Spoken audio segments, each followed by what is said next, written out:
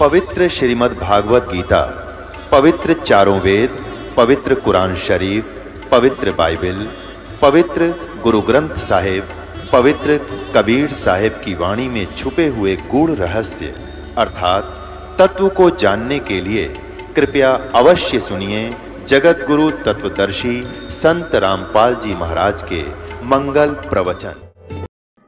कर जोरू विनती करूँ, दरों चरण पर शीश गुरु जी राम देवानंद जी महाराज ने दियो नाम बख्शीस। कोटि कोटि सिजदा करूँ। कोटि कोटि प्रणाम चरण कमल में राखियो मैं। बांदी जाम गुलाम। कुत्ता तेरे दरबार का। मोतिया मेरा नाम। गले प्रेम की जेवड़ी। जाखे चौहा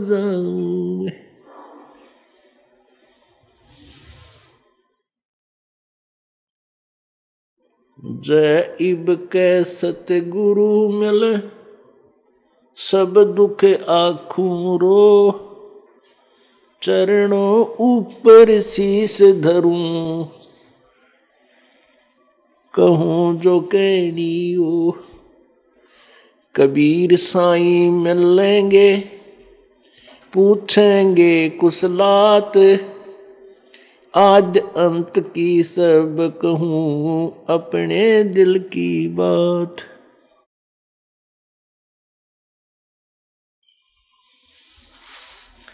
गुरु जी तुम ना भूलियो, चाहे लाख लोग मिल जाई।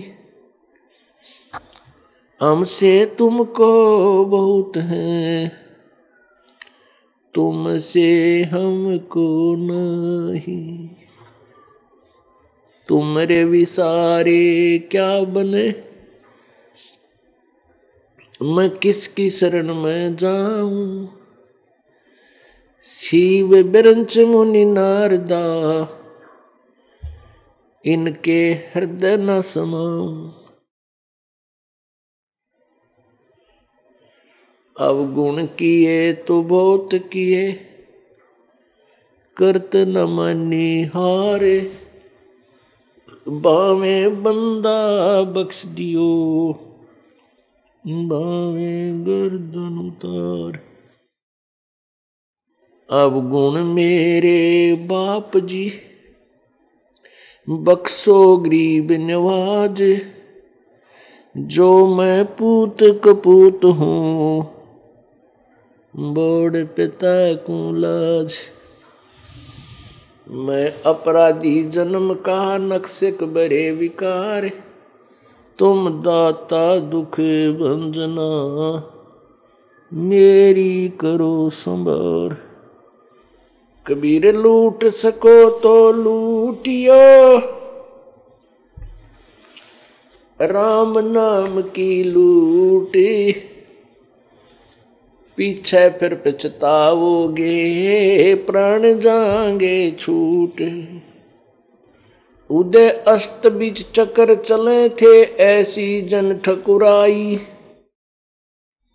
चुन करी सिस्वर कल्प करी, तब खोज न पाया राई।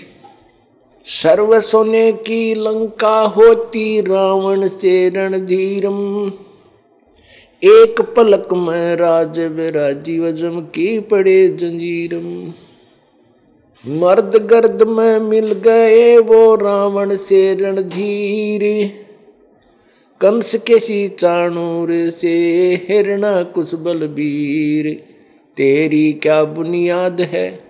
तू जीव जन्म धर लेत। गरीब दास हरि भजन बिना तेरा खाली रह जा खेत। परमपिता परमात्मा कबीर परमेश्वर जी। कालजाल में फंसी हुई आत्माओं को हमारे निज घर का ज्ञान कराने के लिए वे स्वयं ही आते हैं। वो परमेश्वर हमें याद दिलाते हैं कि तुम यहाँ के वासी नहीं हो। आपके साथ काल भगवान ने, इस ब्रह्म ने जो इक्कीस ब्रह्मांड का स्वामी है, आपके साथ एक छलावा किया है। आपको धोखे में रखा हुआ है। और आपको इतना आरूढ़ कर दिया है इस नकली, इस झूठे लोक में और यहाँ के इस भौतिक सुख के अंदर कि आप इसको वास्तविक स्थान और वास्तविक सुख मान चुके हो। पुण्यात्माओं हम ध्यान नहीं देते कभी भी, क्योंकि इतना समय हमारे पास काल ने छोड़ा नहीं।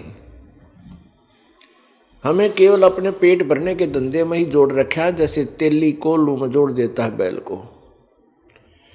और उसकी आँखें बाँध देता है, वो सारा दिन घूमता रहता है। उसको ये नहीं मालूम तू कहाँ चला था, कहाँ से रुका है, केवल उस एक ही सर्कल में वो उस दिन रात चलता रहता, सारा दिन चलता रहता है। इस प्रकार काल ने हमारी आँखें बाँध रखी हैं। हमारी जो यथार्थ आँखें हैं, जो ज्ञान रूपी अखियाँ हैं, वो बंद कर रखी हैं। उनके मोतिया बंद कर रखा है। और हम इसी धंधे में पच मर जाते हैं। बच्चे उत्पन्न ना हुए तो चिंता सताती है। उत्पन्न होने के बाद फिर उनके परिवर्ष के अंदर दिन रात एक करना पड़ता है। अपना पेट और परिवार पोषण के लिए हम दिन और रात लगे रहते हैं। और एक ऐसा काल झटका देता है कभी। ना बच्चे रहते हैं, ना हम रहते हैं। ना जाने कौन, कहाँ बच्चे जाते हैं और कहाँ हम जाते हैं। कहीं फ्लड आ जाती है, कहीं पर भूकंप आ जाते हैं, अक्षेत्र का अक्षेत्र नष्ट हो जाता है। कहीं दुर्घटना के अंदर परिवार के परिवार विनाश को प्राप्त हो जाते हैं। शेष बचे हुए नहीं सोचते कि वैसा क्यों हो गया। क्या हमारे साथ ऐसा नहीं होगा? होगा। उसका तरीका दूसरा हो सकता है, एक दिन विनाश सभी का होगा। तो हमने क्या करना चाहिए? तत्वदर्शी संत के विचारों पर बहुत ही गहनता से विचार करना चाहिए। तत्वदर्शी संत केवल परमेश्वर का आदेश ही सुनाता है जो सदग्रंथों के अंदर विद्यमान होता है। काल भगवान ने हमारे साथ क्या छलावा किया है कि इसने हमारे तक यथार्थ ज्ञान नहीं आने दिया जो हमारे सदग्रंथों में विद्यमान है।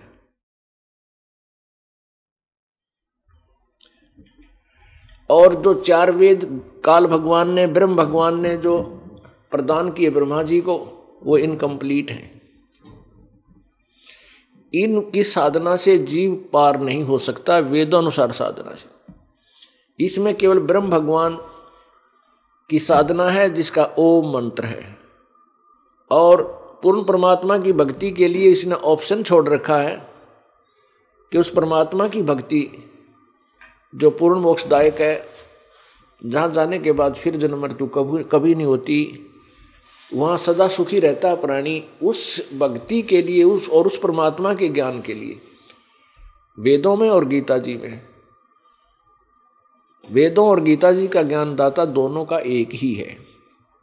ब्रह्म, इसे काल भी कहते हैं। इसने कहा है कि वो तत्व ज्ञान कोई तत्वदर्शी संत ही बताएगा। उनसे सुनो।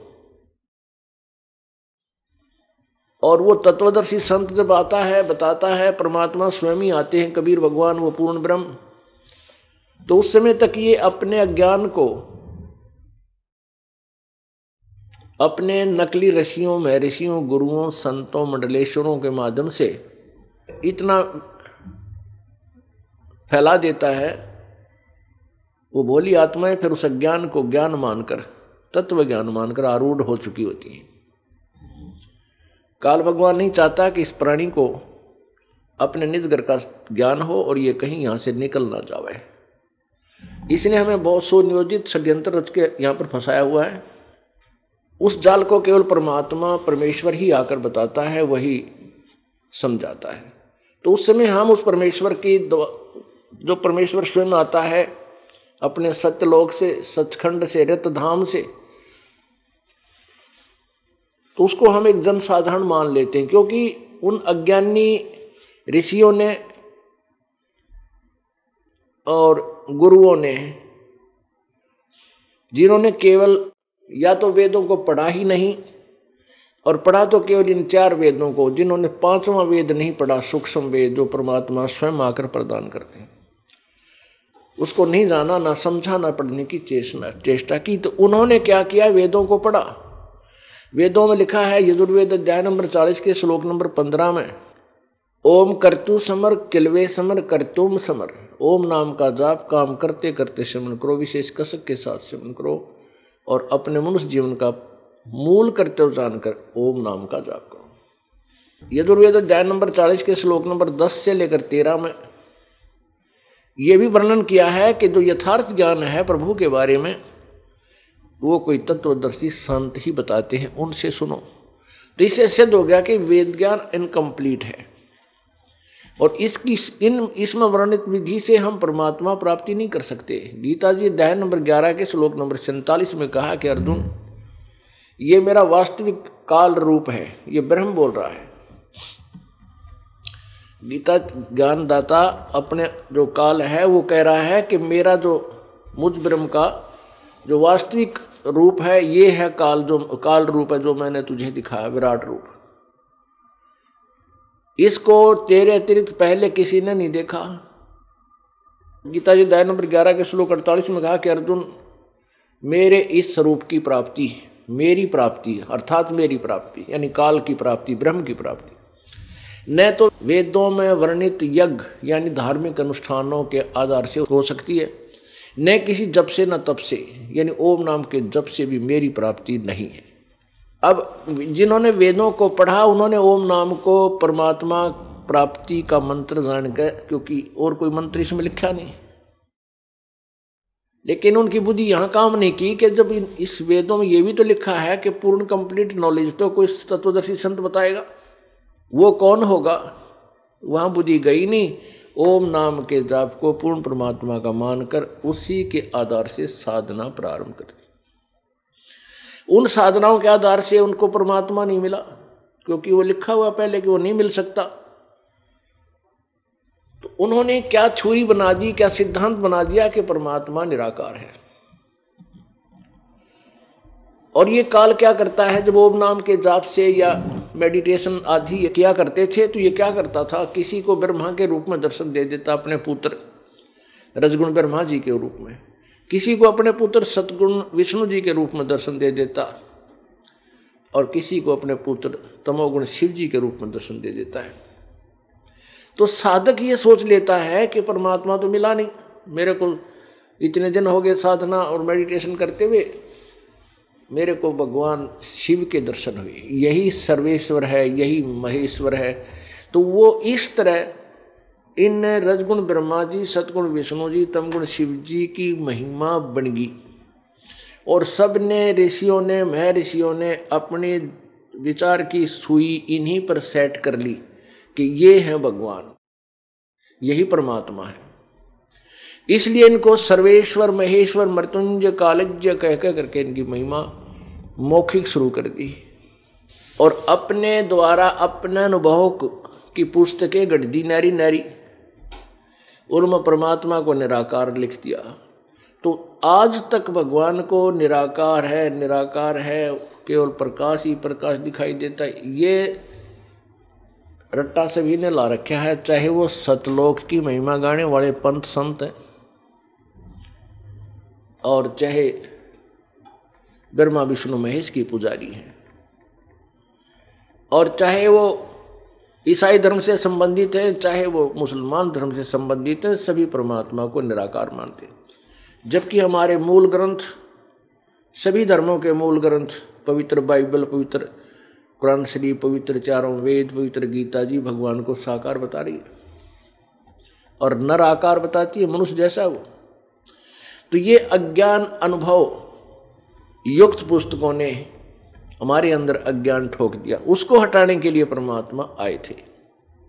अब परमेश्वर आते हैं, जब अपने मूल स्थान का ज्ञान कराते हैं तो हम मानते नहीं हैं। हम अड़ियल स्वभाव के हो चुके होते हैं। क्योंकि हमने एक से, दो से, बीस से हज़ार व्यक्तियों से वही अज्ञान सुना हुआ होता है, जो वेद, ज्ञान और मूल ग्रंथों से विपरीत होता है। हम उसको सत्य मान चुके होते हैं। अब परमात्मा कबीर देव जी ने हमारे ऊपर कृपा बख्शी है कि हम शिक्षित हैं। सभी मानव समाज शिक्षित है वर्तमान में। है और हम अपने सदग्रंथों को स्वयं देख सकते हैं। ये दास भेज दिया परमेश्वर ने आप जी को इन सदग्रंथों के रूबरू कराने के लिए। और आप आसानी से इनको देख करके अपना कल्याण करवा लोगे, परमात्मा को पहचानोगे और अपना जो पुराना ज्ञान है, उसको त्याग दोगे। परमेश्वर कबीर जी का ज्ञान, कुछ एक पुण्यात्माओं ने ग्रहण हुआ और परमात्मा का साक्षात्कार भी कुछ एक आत्माओं को हुआ। उन पुण्यात्माओं में से कौन कौन है? आदरणीय धर्मदास साहिब जी, आदरणीय दादू साहेब जी, आदरणीय मुलकदास साहेब जी, आदरणीय गरीबदास साहिब जी, आदरणीय नानक साहिब जी और आदरणीय घीसा साहिब जी। आदरणीय ऋषि रामानंद साहिब जी। इन सात महापुरुषों को परमात्मा का साक्षात्कार हुआ। ये पहले अपने ही आधार से अन्य पूजाएँ किया करते थे, जो हम और आप किया करते थे। उसके उपरांत परमात्मा ने इनको अपने निज स्थान रत धाम को दिखाया, सतलोक को दिखाया, सतधाम को दिखाया। अपनी शक्ति से परिचित करवाया। उसके बाद इन महापुरुषों ने उस परमेश्वर की महिमा के एफिडेविट लिखे हैं। अमृतवाणी में अपनी, अमृतवाणी में कबीर भगवान की महिमा गाई है। इनके अतिरिक्त किसी ने परमात्मा नहीं पाया, ना देखा। उन्होंने वेदों और विगीता के विरुद्ध ज्ञान युक्त अपनी थ्योरी बना करके, सिद्धांत बना करके समाज में फैलाया, अज्ञान फैलाया। उस अज्ञान से युक्त हम सभी रंगे हुए थे और परमात्मा ने हमें आकर के उस अज्ञान को हटा करके अब तत्व ज्ञान हमें दिया। परमात्मा कबीर परमेश्वर जी, संत गरीबदास जी को मिले, हरियाणा प्रांत जिला झज्जर उस समय रोहतक जिला अब झज्जर और गाँव छुडानी में परमात्मा की महिमा से परिचित होने के उपरांत आदरणीय गरीबदास साहिब जी ने परमेश्वर जी की महिमा कलम तोड़ लिखी। गरीबदास जी ने कहा है, अपनी अमृतवाणी में चीनो सत शब्द नबेड़ा है। चीनो सत शब्द। यानी वो सार नाम को पहचानो। जब तुम्हारे इस झंझट का नबेड़ा होगा, छुटकारा होगा। ऐठा ऐठी करते पराणी या मैं क्या तेरा, क्या मेरा है? यो सतगुर का खेत मंडा है रे, ज्ञान शब्द समसेरा है। तीरथ बर्त ग्यास कर भूले यो एक बड़ा बखेड़ा है। चार वेद और पुराण अठारह, यो एक उजड़ झेरा है। जो मूर्ति ठाकुर ठहराए, सो तो घड़ी ठठेरा है। चार मूर्ति बैकुंठ नहीं रे, वो तो मार्ग अगम उचेरा है। बैकुंठ के जीव आवे जाही, हर हट के सा फेरा है। सोला संघ बिहंगम गैली जा सतगुरु का डेरा है। कहदास गरीब सतलोक चलो रे, धरियो ध्यान उचेरा है। अब क्या बताते हैं कि चिन्हो सत शब्द यानी सा जैसे गीता जी अध्याय नंबर सत्रह के श्लोक नंबर तेईस में कहा कि ओम तत्सत। इति निर्देश है ब्रह्मण त्रिविध समर्थ। पूर्ण परमात्मा, ब्रह्मण माने सचिदानंद घन ब्रह्म, अर्थात गीता ज्ञानदाता से कोई अन्य ब्रह्म है, वो सचिदानंद घन ब्रह्म है, पूर्ण परमात्मा है। उसकी प्राप्ति का केवल ओम तत्सत यही एक मंत्र है। उसमें ओम मंत्र तो ब्रह्म का है, जिसको क्षर ब्रह्म भी बोलते हैं क्षर पुरुष भी कहते हैं। और तत् जो शब्द है, तत् नाम जो है सांकेतिक है। ये अक्षर ब्रह्म का है, अक्सर पुरुष भी बोलते हैं उसको, पर ब्रह्म भी कहते हैं। और सत शब्द, ये सार नाम है, ये पूर्ण परमात्मा का मंत्र है। तो यहाँ वही बात कही है गरीबदास साहब जी ने कि चीनो सत शब्द नबेड़ा है। अब यहाँ पर जैसे कबीर परमेश्वर जी कहते हैं कि सो हम शब्द हम जग में लाए और ये सत शब्द, ये सार शब्द हमने गुप्त छिपाए। पुणात्माओं ये जो सोहम शब्द है, इसको, आप इसको किसी भी वेद या किसी पुराणों में नहीं पा सकते। ये है ही नहीं। किसी भी ऋषि को इसका ज्ञान नहीं था। ये तो परमेश्वर ने आकर के अपनी कृपा से ये मंत्र हमें प्रदान किया। और वो भी कुछ एक पुण्यात्माओं को दिया, अपनी वाणी में अवश्य लिख दिया। तो यहाँ क्या बताया है कि सतनाम ओ मंत्र ब्रह्म का और ये तत्व पर ब्रह्म का जो सांकेतिक है, इन दोनों के मेल से एक सतनाम बनता है। तो सतनाम तक तो पुण्यात्माओं को बता दिया और आगे उन्होंने कुछ एक प्राणियों को दिया। लेकिन सत शब्द यानी सार शब्द को छुपा रखा है। परमात्मा कहते हैं कि सोहम शब्द हम जग में लाए, सार शब्द हमने गुप्त छपाया। ये नहीं बताया किसी को। अब बताएँगे, पवित्र कबीर सागर यानी सचिदानंद घन ब्रह्म की वाणी में क्या लिखा है?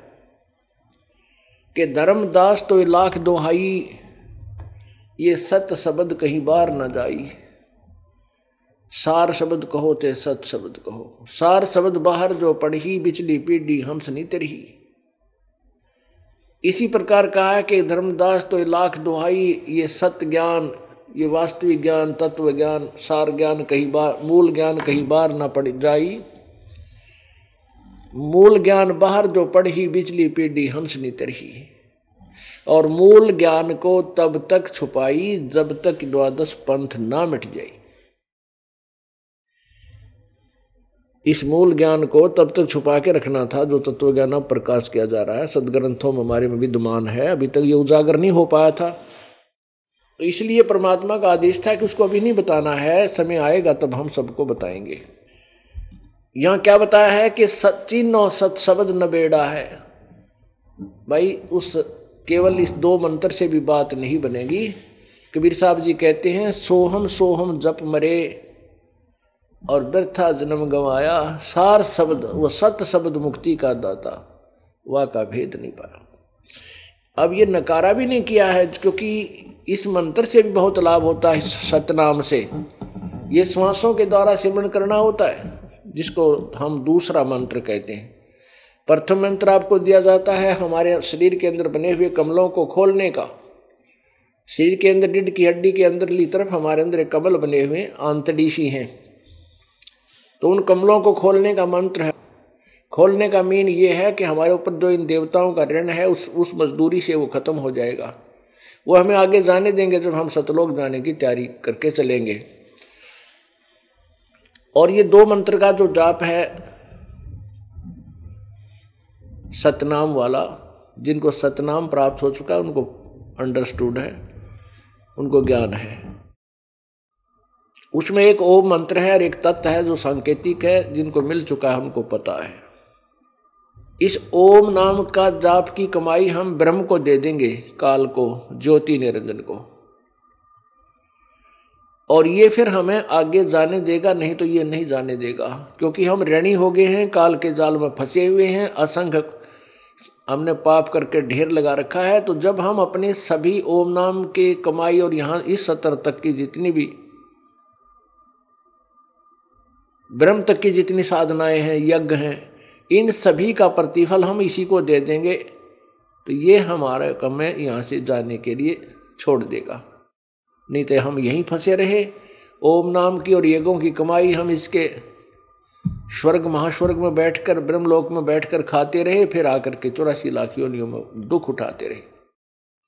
इसलिए गीता जी अध्याय नंबर अठारह के श्लोक नंबर छियासठ में कहा है कि यदि तूने मेरे उस परमात्मा के पास जाना है, जिसके विषय में अठारहवें अध्याय के बैसठ में श्लोक में कहा कि, अर्जुन, तू सर्वभाव से उस परमेश्वर की शरण में जा, जिसकी कृपा से ही तू परम शांति और शाश्वत स्थान को प्राप्त होगा। उसके लिए कहा कि, तूने उसकी शरण में जाना है तो मेरे सत्र की जो कमाई है, ओम नाम के जाप और ये गादी जो मेरे लेवल के, वो मुझे छोड़ दे। मुझमें त्याग, फिर तू उसकी शरण में जा, फिर मैं तुझे सब पापों से मोक्ष कर दूँगा, सब ऋण मुक्त कर दूँगा, तू जरा तेरा छुटकारा कर दूँगा। क्योंकि हम काल के बंधुआ मजदूर हो गए हैं। हम सच साधना ना मिलने से। उसमें क्या लिखा अठारहवें अध्याय के छसठ में श्लोक में कि सर्वधर्मान प्रीतज माम एकम शरणम व्रज। सर्वधर्मान प्रीतज माम एकम शरणम व्रज। अब यहाँ जो गीता के अनुवाद करताओं ने यहाँ गलती कर रखी है, उन्होंने व्रज का अर्थ आना लिख दिया है, आओ लिख दिया है, जबकि वर्ज का अर्थ जाना होता है। अब ये गीता का अनुवाद करने वाले यहाँ उलझे रहे कि भगवान किसी और और किसकी शरण में जाने को कह सकता है, क्योंकि वो श्री कृष्ण जी के द्वारा दिया गया ज्ञान मानते थे और श्री कृष्ण जी को फाइनल गॉड मान रहे थे। अंतिम परमात्मा मान रखा था उन्होंने। तो यही इस कारण से उन्होंने इन सदग्रंथों के अर्थों का भी अनर्थ कर डाला। व्रज माने आना नहीं होता, जाना होता है। इन्होंने व्रज का अर्थ आना लिख दिया। एक अंग्रेज़ी का वर्ड है गो। गो माने जाना होता है। और उसका अर्थ कोई कम करता है, आना करता है तो वह अज्ञानी है। चाहे वो किसी सर्कमस्टांस में उसका अर्थ आना कर रहा है, उसको उस सेंटेंस का ज्ञान नहीं, जहाँ ऐसा अनर्थ करने जा रहा है। इसका सीधा अर्थ बनता है कि सर्वधर्मान परितज माम, मेरे सतर की, जितनी भी पूजाएँ हैं, उनको मुझमें छोड़ तो एकम शरणम व्रज, एकम जिसके बराबर दूसरा ना हो, एकम एकम शरणम व्रज अद्वितीय भगवान वठार में जाए के बैसठ में श्लोक में कहा है, जिसके विषय में उसकी शरण में जा, और पंद्रह में अध्याय के एक से लेके चार में वही विवरण किया है। और पंद्रहवें अध्याय के गीता जी अध्याय नंबर पंद्रह के श्लोक सोलह और सत्रह में भी तीन परमात्माओं का ज़िक्र करते हुए सत्रहवें श्लोक में कहा कि वही परमात्मा पुरुषोत्तम है, उत्तम पुरुष तो अन्य है जो ऊपर वाले दोनों से भिन्न है। सत सोलहवें श्लोक में जो दो भगवान कहे हैं अक्षर पुरुष, शर पुरुष और अक्षर पुरुष। शरब्रह्म को हो अक्षर पुरुष को हो हम उसको सिद्धि देसी भाषा में छरब्रह्म, यानी समझाने के लिए, ताकि समझ सकें। छरब्रह्म और अक्षर ब्रह्म अक्षर क्षर पुरुष और अक्षर पुरुष बोलते हैं। ये दो, ये दोनों नासवान है, ये भगवान भी और इनके श्लोकों में प्राणी भी नासवान है। इसलिए कहा कि उत्तम पुरुषत्व अन्य गीता जी नंबर पंद्रह के श्लोक नंबर सत्रह में, उत्तम पुरुषत्व अन्य परमात्मा इति उदारते हैं। ये लोग तरम आविश्य विभरती, अवैश्वर जो तीनों लोगों प्रवेश करके सबका धारण पोषण करता है, वो अविनाशी भगवान है। तो वो जो तीसरे नंबर का परमात्मा है, उसका जो मंत्र है, उसकी शरण में जाने को ये काल कह रहा है कि उसकी शरण में जाने के लिए तू मेरे सत्र की सब पूजाएँ मेरे में छोड़ दे। फिर उस एकम शरणम व्रज, एकम, जिसका, जिसके बराबर दूसरा कोई नहीं है ओनली वन एलोन उसकी शरण में जा। फिर मैं तुझे अहम तवा सर्व पापे मोक्षामीन माँ सुच मैं तुझे फिर सब पापों से मोक्ष कर दूँगा। तू चिंता ना करे। अब अंदर से तो रो रहा था, अर्जुन ऊपर से डरता हम रहा था। इसी बूंदी शकल देख कर उस काल भगवान की तो अंदर से जान रहा था कि घबराया हुआ है, फिर उसका दिल डांटने के लिए तो उसकी शरण में जाना है तो तत्वदर्शी संत खोज ले और मेरे सतर की सब पूजा मेरे पास दर दे, मेरे को दे दे। तो हम इस ओम नाम के जाप की कमाई और यज्ञ हवन आदि जो है, इनका जो प्रतिफल है, हम इस काल भगवान ब्रह्म को दे देंगे, जो इक्कीस ब्रह्मंड का स्वामी है, जो ब्रह्मा विष्णु महेश जी का पिता है। फिर ये हमें छोड़ देगा। फिर हम चलेंगे आगे को परब्रह्म, यानी अक्षर पुरुष के लोकों को पार करते हुए। बहुत लंबा क्षेत्र है, सात शंख ब्रह्मांड है उसके। उसके लोक से हमें पार होकर जाना है। तो उसके लोक का किराया देना है, टैक्स देना है, वो दूस, वो तत्व मंत्र है। वो तत्व मंत्र का की कमाई इस हम परब्रह्म, यानी अक्षर ब्रह्म को दे देंगे। और जो सत्य शब्द है, जो सार सार नाम है, इसकी कमाई हमें सतलोक में सथाई स्थान देगी। जो तत् तत्नाम है, जो ओम तत् सत्य में जो सेकंड मंत्र है, इसकी कमाई हमारे को भंवर गुफा तक ले जाएगी। कौन सी भंवर गुफा? जो सात संग ब्रह्मांड पार करके और सतलोक में प्रवेश कराती है। वहाँ तक ले जाओगी। उससे आगे हमें उस सत्य शब्द की कमाई हमारे काम आओगी। आत्माओं कई भक्त असमंजस में पड़ जाते हैं कि हम तो बूढ़े हो गए, हो सकता सार नाम ना भी मिल रहा है। तुम्हारा क्या होगा? हम हम तो व्यर्थ होगा जीवन। ऐसी कोई बात नहीं है। जो कमाई आप कर रहे हो या व्यर्थ नहीं जाएगी। कबीर कमाई अपनी कदे ना निष्फल जा। सात समुद्र आडे पड़ा मिला मिलाएगा हुआ। अब जैसे सतनाम का जाप तुमने जितना भी किया है, ये आपके साथ रहेगा। ये बिल्कुल खत्म नहीं होगा और ये आपको पुनर्जन्म दिलाओगा पुनर्जन्म तो आपको प्रथम मंत्र ही दिला देगा, जो आपको पहला मंत्र दिया जाता है, सात मंत्रों का, सात नामों का।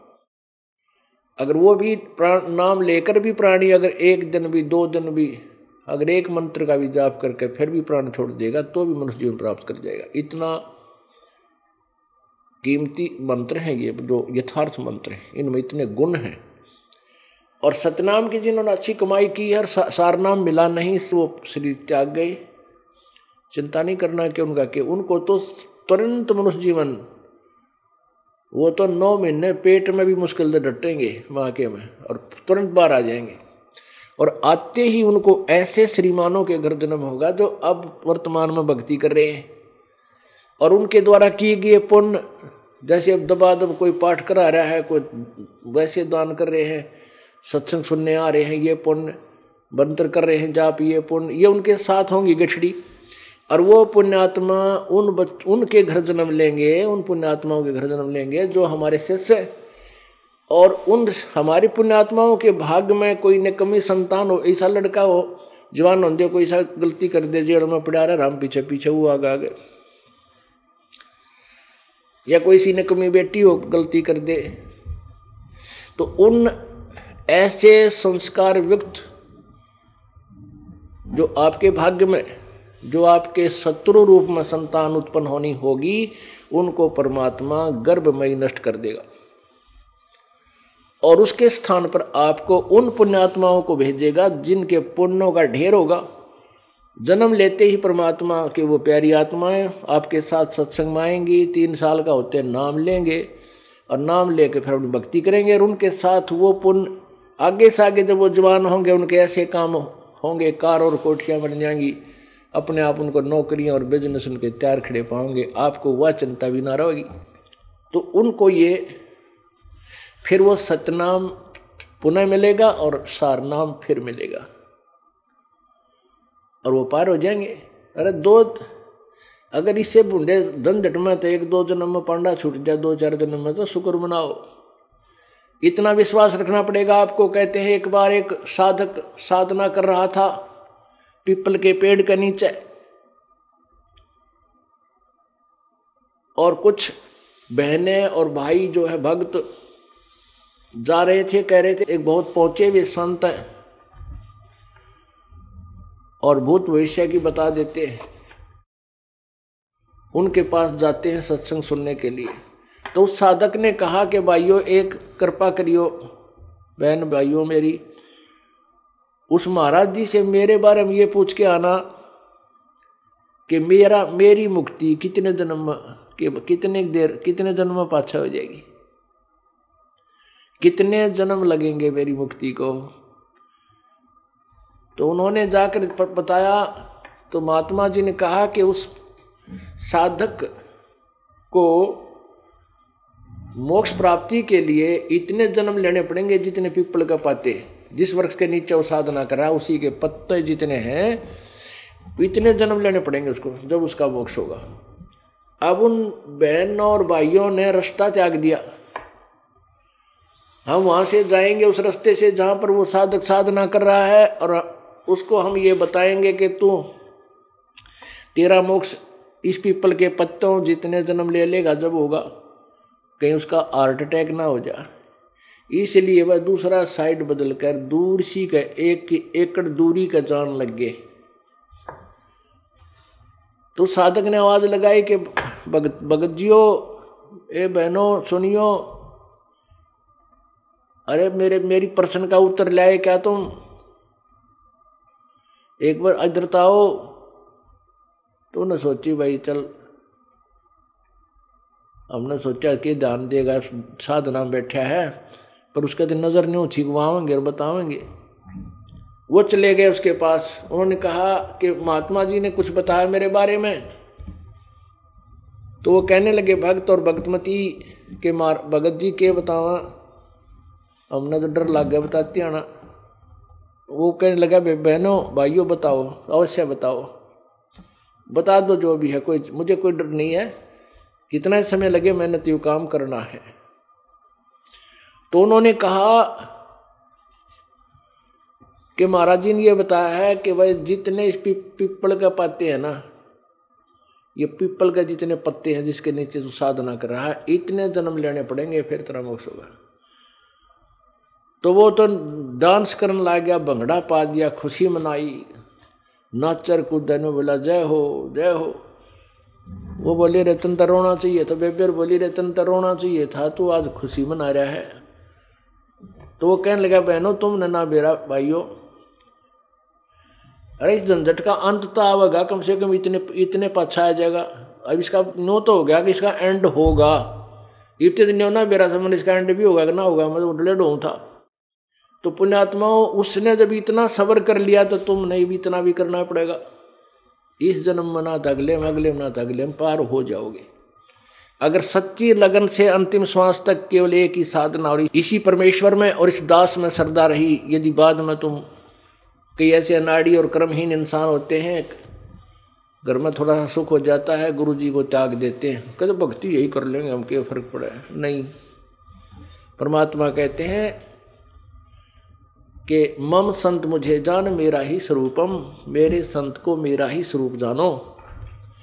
और उसके प्रति जो तुम्हारी प्रतिक्रिया है, अगर उससे तुम्हारा विक्षेप है तो मेरे से हो गया वो। अगर तुमने गुरु जी से किसी भी पॉइंट से विक्षेप कर लिया, किसी भी पॉइंट से आप उसे नाराज़ होकर दूर चले गए तो मेरे से नाराज़ हो गए तुम। फिर यहाँ आ लिए तुम यहाँ क्यों बाट देखो? तो ऐसे हमने अपनी श्रद्धा बनानी है, अंतिम श्वास तक उस परमात्मा के पाने की।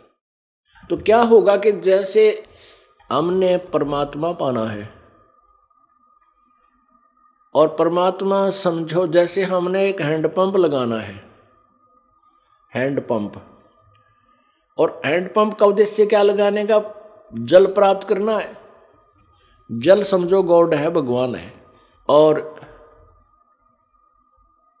जो हम हैंडपंप लगाने के लिए प्रतिक्रिया शुरू करेंगे, वो हमारा साधना है। श्वास, उस श्वास में जो सतनाम का जाप होता है, एक श्वास अंदर जावे, उस श्वास जो बाहर आवे। श्वास, उस श्वास के सेवन समझो, बोकी। नलका लाते समय जो प्रयत्न होता है, बोकी मारा करें ज़मीन में, और उसकी मिट्टी काट के बाहर डाल दे, फिर मंड जाए तो उसको, और साथ के साथ एक पाइप लोअर करते हैं। लोअर, लोअरिंग करते रहते हैं पाइप को, नीचे साथ ले जाते हैं।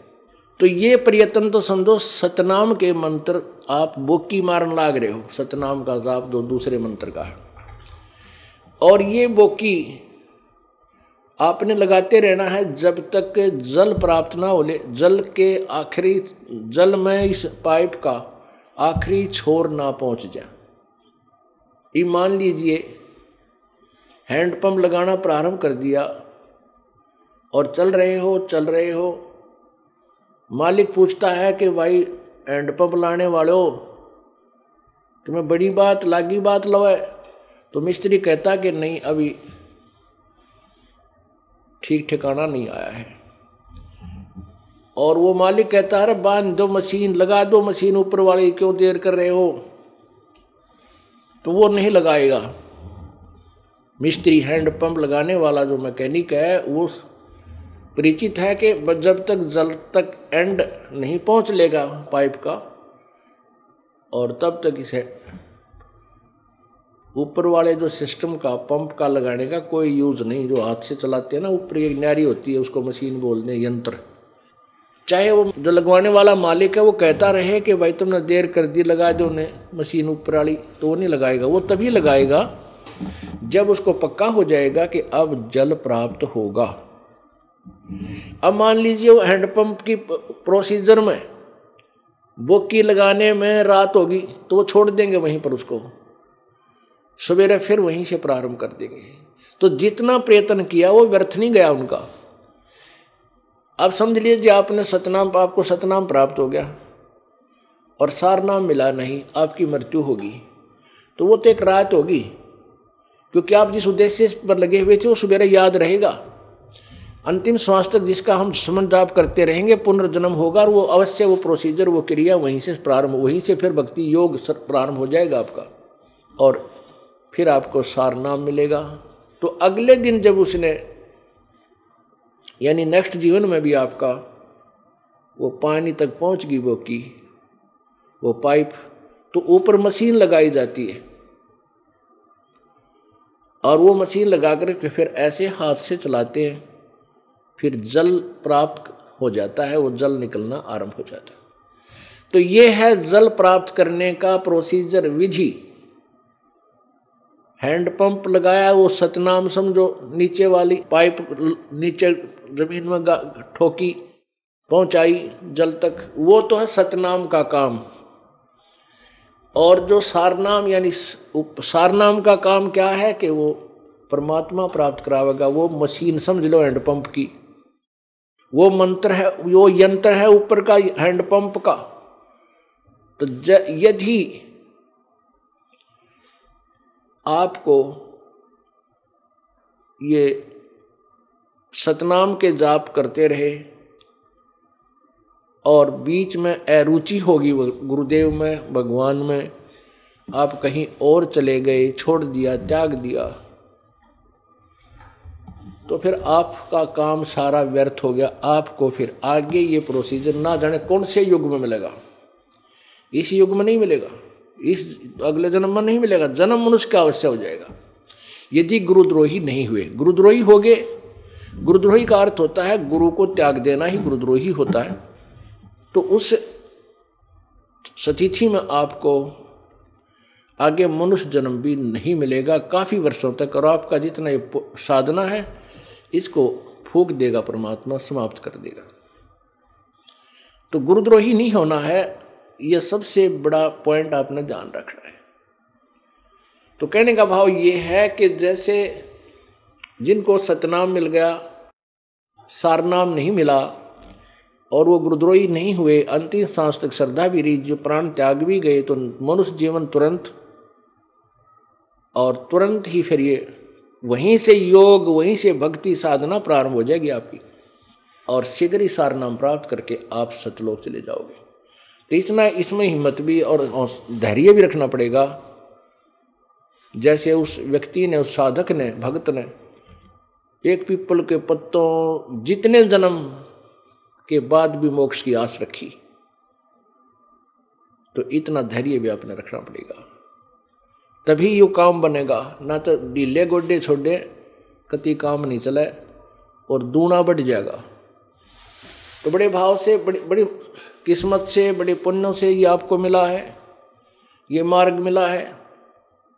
अब इससे दूर होना आपका महादुर्भाग्य होगा छोटा मोटा नहीं। अब जो बात चल रही थी, चिन्नो सत शब्द नबेड़ा है। ऐठा ऐठी करते प्राणी, यम क्या मेरा क्या तेरा है। यो सतगुर का खेड मंडा है। अरे ज्ञान शब्द समसेरा है। तीर्थ व्रत ग्यास कर भूले, यो एक बड़ा बखेड़ा है। तीर्थ करें कि ग्यास का व्रत रखे, कहती तो बहुत बड़ा बखेड़ा छेड़ दिया तुमने। चार वेद और पुराण अठारह, यो एक उजड़ झेरा है। अब देखो पुण्यात्माओं, कैसी गहरी बात कही है, सिंपल लैंग्वेज में। यह है सूक्ष्म वेद जो सचिदानंद घन ब्रह्म की वाणी है, जो परमेश्वर ने अपने प्यारी आत्मा गरीबदास साहिब जी के अंदर फ़ीड कर दी, गरीबदास जी ने वही परमेश्वर कबीर साहिब जी वाला ज्ञान बोला है। क्या बताया है कि तीर्थ व्रत ग्यास कर भूले, यो एक बड़ा बखेड़ा है और चार वेद और पुराण अठारह, यो एक उज्जड़ जेरा है। उज्जड़ जेरा किसने कहा करे? एक कुआ होता है। और उस कुएँ में जल नहीं रह, रहता, वो खत्म हो जाता, सूख जाता, वो, और नीचे से वो बहुत, उसमें बहुत गड़ा गहरा हो जाता है। उसने जेरा कुआ क्या करते हैं। उजड़ जेरा जो उजाड़ में हो कि तक बाहर दूर खेत खाता में जहाँ कोई भी ना जाता हो। उसमें जल नहीं होता। तो कहते हैं और उसमें अगर गिर जाए, इंसान तो बाहर नहीं निकल सकता। जो प्राणी पशु कोई पशु वगैरह गिर जाता है, जंगली पशु धोखे में तो उससे बाहर नहीं निकलता है। तो ऐसे वो कुआ जो है, लगता तो कुआ है कि जल होगा, पर उसमें पावा कुछ को नहीं, जल है नहीं। ऐसे ही ये चारों वेद और अठारह प्राण, यो एक उज्जड़ जेरा है। क्योंकि इनमें वो कंप्लीट ज्ञान नहीं है, और इनमें गिरा हुआ इस कुएँ में, जिस आशा से उस पर गए थे, वो मिला नहीं, वो जल उसमें था नहीं। तो इस प्रकार कहते हैं, ये पुराण अठारह और चारों वेद, ये एक उज्जड़ जेरा है। लगता तो है इनसे भगवान मिलेगा, लेकिन उस परमात्मा प्राप्ति, पूर्ण परमात्मा, मोक्ष का मार्ग नहीं है। यही जन्म मृत्यु के ही चक्कर का ज्ञान है। समझ खेलो रे, सौदा बनज समझ खेलो रे। यो जग गुजड़ी लागी पीठ, ब्रह्म ज्ञान सतगुर से दीठ। कोई के सौदा करते दून, कोई के बैल डार गए गून। कोई चौगने कर कर जाही, कोई एक मूर्ख मूल गवाही। दोनों दीन चले पछताए सट दर्शन दिया मूल गवाए। काजी पंडित जग के पीर, बैल गुनी रही उर्ले तीर। तीन जगाती, लही जगाती। जान न पावे कोई दूसराती सुरनर मुनिजन भरत जगाती, ऐठ कने सो खाए ला तेती सौ सिर गुरज लगाया, सिद्ध चौरासी गए चुकाया। ब्रह्मा, विष्णु, महादेव भूल गुजर लगा दे गए रसूल। चौबीसों घेरे कुतवाल, नौ अवतार डार गए माल। हम तो भरिया सोंगी साठ पूर्व देश पंछा है हा घाट। शंख गुणा किया व्यापार, सौदागर से उतरी लार। दुर्के दस्तक मोहर मजीठ, दास गरीब गुजर लई लूट।